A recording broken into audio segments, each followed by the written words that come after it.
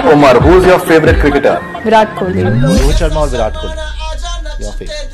Rohit Sharma, current Virat Kohli, all time. Who is the hottest cricketer from current currently? Virat Kohli.